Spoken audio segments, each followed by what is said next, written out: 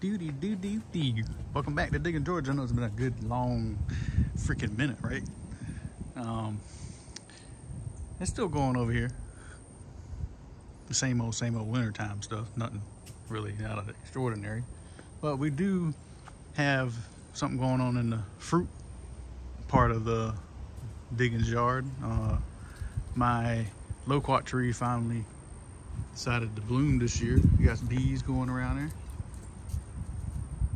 and it's pretty warm today because it just it rained surprisingly all the other days are cold but today's been what it's 70 something degrees. About to head out to fort pulaski. Uh, look at that look at that weird looking uh bee. That's pretty nice. But they're pollinating today because i guess because it's warm and they, it's not cold and they can get out and do stuff. But this is the, ooh, another one look at that. What is that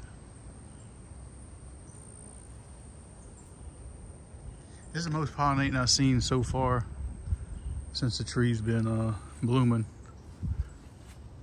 Oh, they don't even care about it. Look at ladybugs in there too. Whole ecosystem right right here in front of us.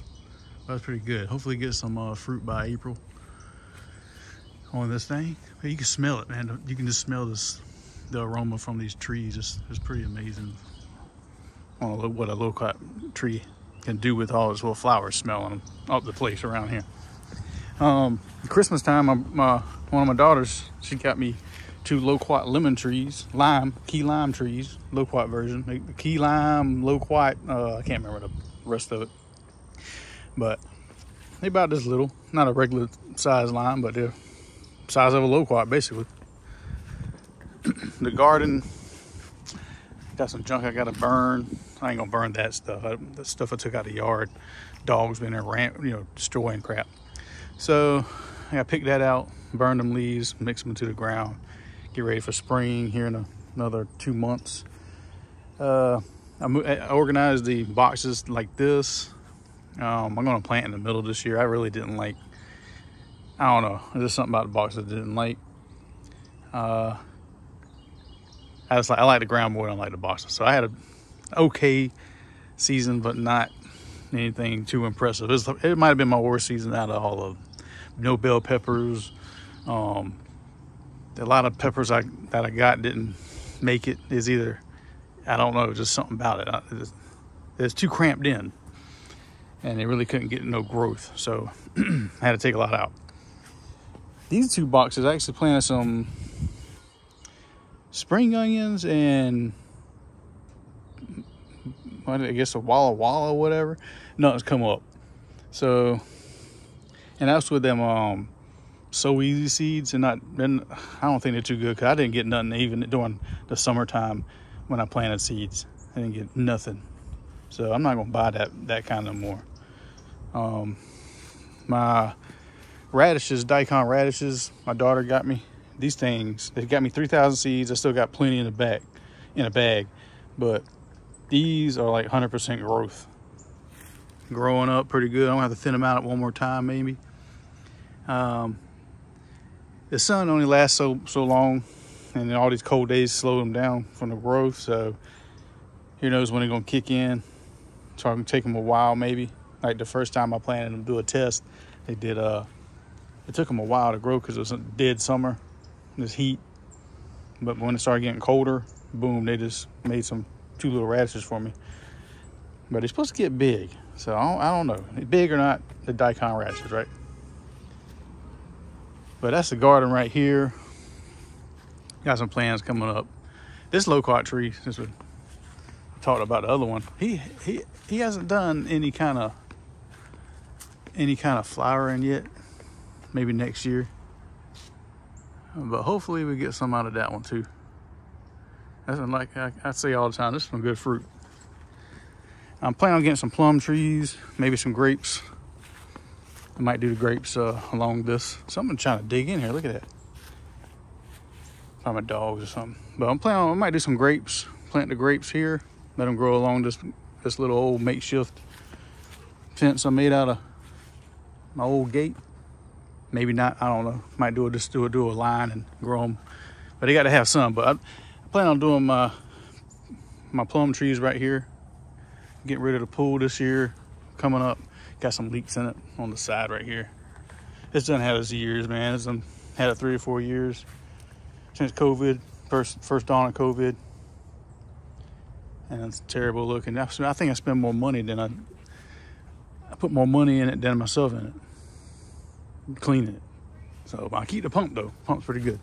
Just in case we might get something little. Um look around here. Got these little I can't remember what kind of kind of uh I heard it's called tiger lilies or something, but they're probably not. But you see these along uh, people's yards. Sometimes they grow up real high and they grow a flower at the top.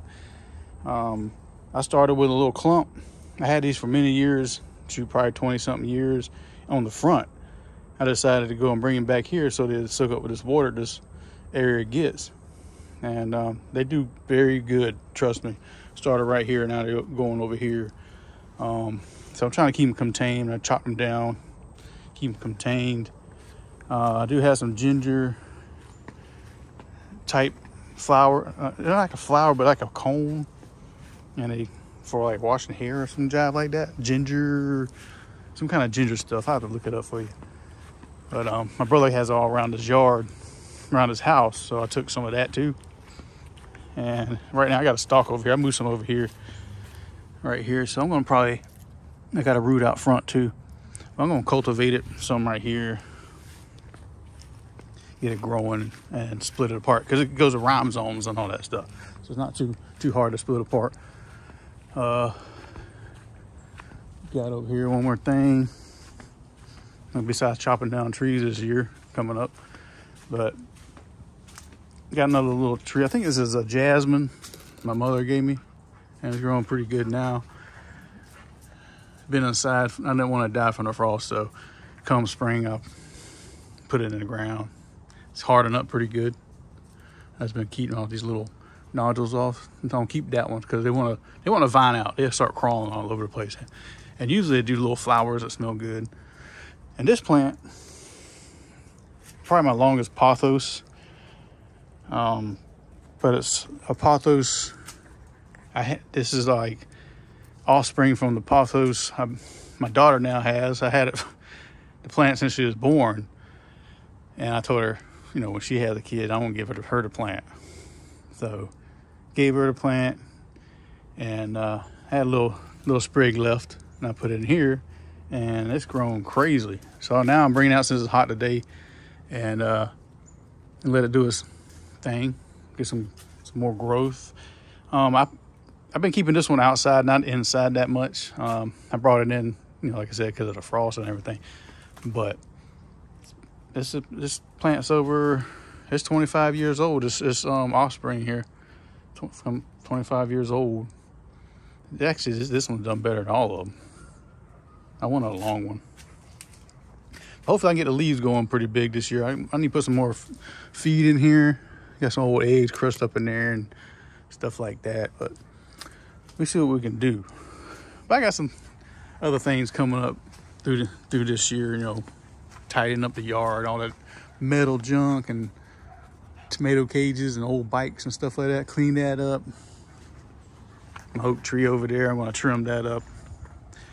I'm debating on this mimosa. I hate to let it go, but I think having a mimosa this close to the house is probably bad news for my shingles. I got junk up there, but uh, these things they're they're you know they're evasive, but you might as well call them down here in the south. They're part of the south now. They smell so good, a good shade. But I don't understand this little ant pile here.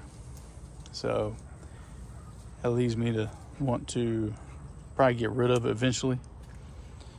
Along with my other one that I have grown, shoot man, it's probably been 14, 14 years or so. This one, I done cut some down last summer and I got to get this rest this spring here um, due to you see how that looks. And they get old and they get bad. And they keep healing though. See the healing? Keep on healing and stuff like that. So it's time to let it go. It's been a good tree here's the old uh, one of the stumps I put up here got some mushrooms on that's pretty cool looking Huh. First time I've seen them kind of mushrooms. Not gonna touch them. Almost like, look like shiitake mushrooms, don't it? But I might have said my oak tree. I got rid of my trash pile finally. Last that's the last bin that's going away. But with the oak tree, I want to get anything that's probably not going up. Oak tree, you want to look like a ball. Um, all these in and out kind of branches and stuff like that. You want to cut. You want everything going up, upwards. You don't want it sagging, looking, looking like that. All that moss just ugly looking. So this would be good firewood to have for, you know, a little couple little fires or give it to the neighbor or whatever. He wanted some wood, so I might give it some, give some wood away if I got enough. Other than that, we get in the backyard decent. It'll be back to green again and then back to hot again and, and we'll be back to this situation again. I say every year I would want to try to do do a uh, collard green or cabbage garden. I just I don't know. It's someone that just blanks out for me. Usually I still have peppers in here and everything until the frost hits like in November. And we had some bad frost this year. But uh, next the next this season I'll probably do something different to keep the this area a certain way so I can rotate to something else. But in here I'm definitely gonna do like um, probably herbs and over there, cucumbers over there again. They did pretty well over there last year. Something else, something I can deal with a good partial shade sunlight kind of deal. But in the middle, I want my peppers. And I want, uh, I probably do squash in the bins. I don't know, squash didn't really do too good either. So we'll figure out something. Squash does take, take up a lot of room when it does get going. So I don't know. I just feel like I'm limited right now with some space. I'll figure out something. I might do some squash over there in that little thing stuff like that. I don't know yet. Ollie, Ollie, you ready to go? He's getting big. Look at him. Come here. Come here, boy. Come. Pooping all over my yard and stuff. He's a good dog. He's a good dog. Yes, you are. All right, buddy. All right. I'll see y'all later. And thanks for dropping by and see what I got coming up. Have a good uh, weekend and um, Happy New Year.